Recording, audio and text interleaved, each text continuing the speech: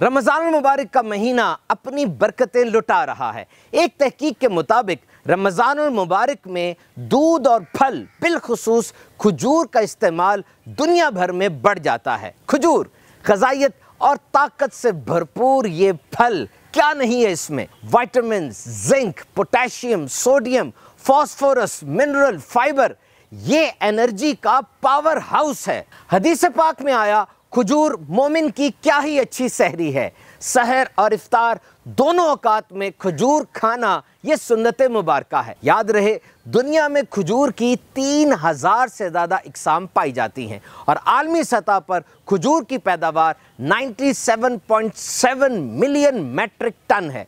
खजूर का दरख्त 100 साल तक ज़िंदा रह सकता है। और खजूर में ख़ास चीज़ होती है, जिसे खोलीन कहा जाता है। ये मेमोरी को शार्प करती है, दिमाग को तेज करती है। एक खजूर में दो मिलीग्राम तक खोलीन हो सकती है।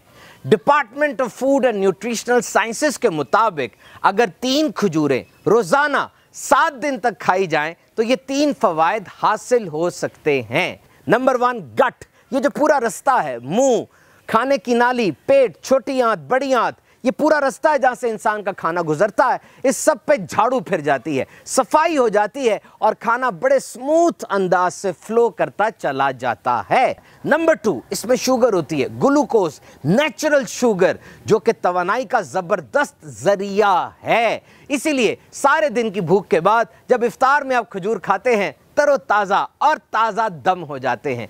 नंबर थ्री वो बच्चे जिनमें आयरन की कमी होती है, जर्द और पीले रंग हो जाते हैं, उनके लिए खजूर बड़ा ज़बरदस्त सप्लीमेंट है। हज़रत सईदना अनस रदी अल्लाह तु से रिवायत है कि प्यारे आका सल्लल्लाहु अलैहि वसल्लम का मामूल था कि आप नमाज़ मगरिब से पहले ताज़ा खजूरों से इफ्तार फरमाते। और अगर खजूरें ना होती, छुआरों से इफ्तार फरमाते। और अगर छुआरे भी ना होते तो चंद घूट पानी पी लेते। अल्लाह वजल हम सबको सुन्नतों पर अमल करने की तोफ़ी कता फरमाए।